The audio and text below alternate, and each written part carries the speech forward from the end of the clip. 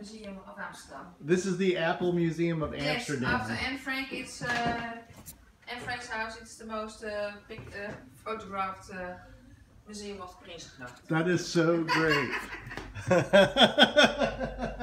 what do you guys do here? We are a printing business.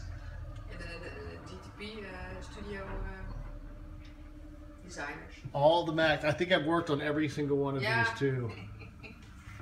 Everyone. Everyone who is uh,